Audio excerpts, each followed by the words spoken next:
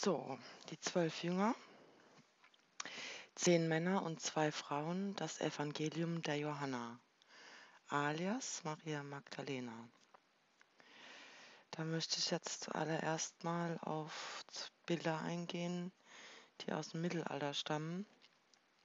Und zwar vom berühmten Leonardo da Vinci 1452 bis 1519 und die berühmte Gobelin-Manufaktur, gegründet 1607.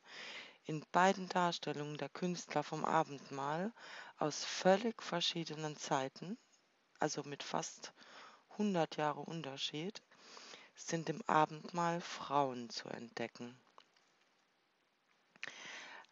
Als ich als Kind monatelang dieses Bild des Abendmahls anstarrte, das von Da Vinci das hing bei meinen Großeltern im Flur, hatte ich ein Gefühl, dass ich etwas übersah.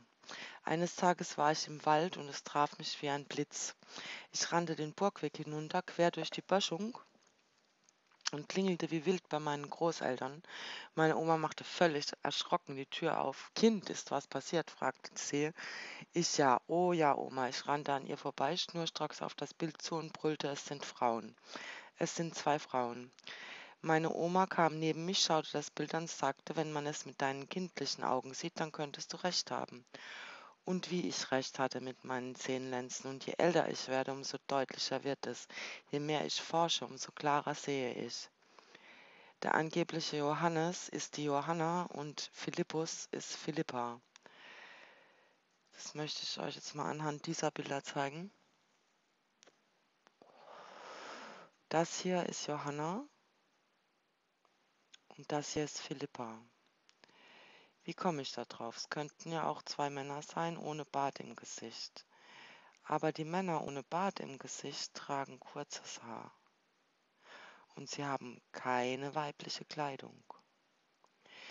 Was sehr auffällig ist, sind die Gamaschen der Frauen, die auch noch im Mittelalter getragen wurden.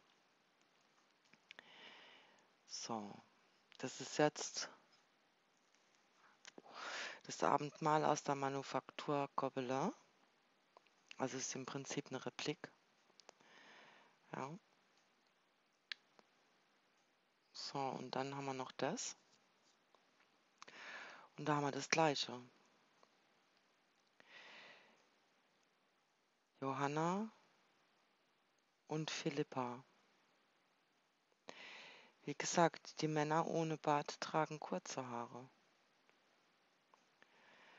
Man muss also genau hinschauen, ja, bei den Bildern der alten Maler. Da ist natürlich noch wesentlich mehr äh, Symbolik in den Bildern erhalten. Dazu sage ich aber später noch was in einem extra Video. Jetzt geht es mir hier erstmal nur um das, dass wir hier zwei Frauen im Abendmahl haben. Sowohl in dem Gemälde von Leonardo da Vinci als auch in den Gemälden der Gobelin-Manufaktur.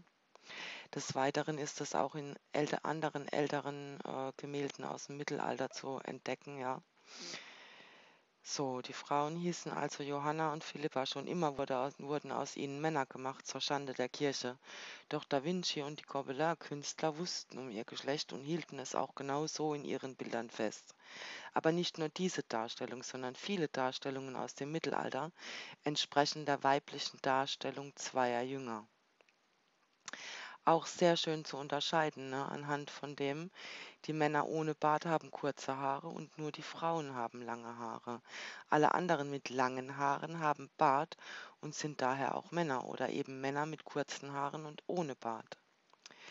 Dann taucht in irgendeiner Bibliothek, ich weiß gar nicht mehr, ob das welche Bibliothek das war, ich habe mich als Kind in vielen Bibliotheken rumgetrieben, äh, das Evangelium der Maria Magdalena auf.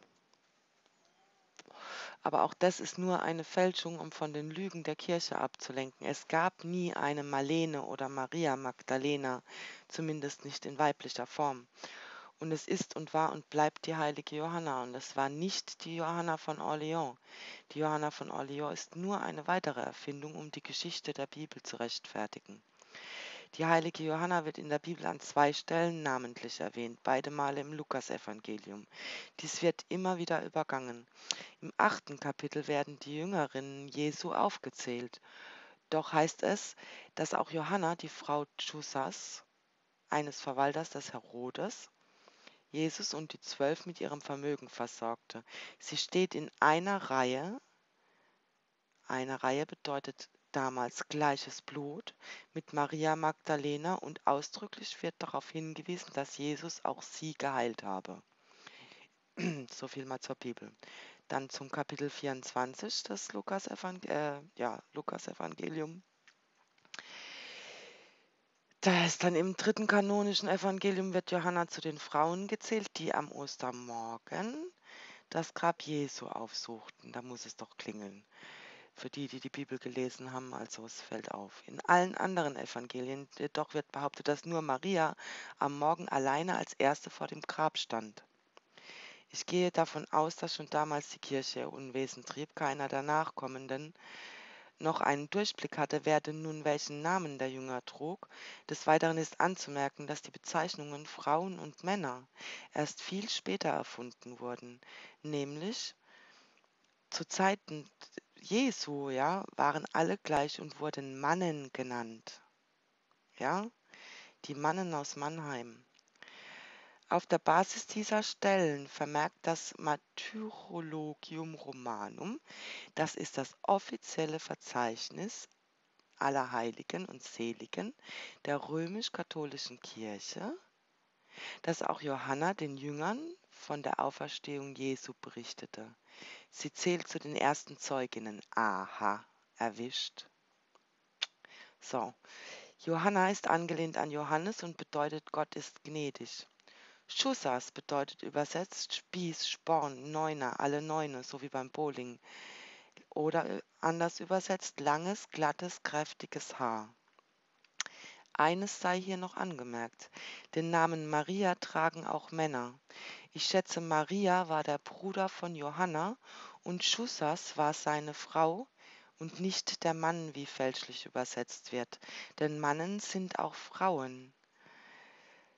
Das Verwirrspiel der Kirche ist ein weiteres Mal damit entlarvt.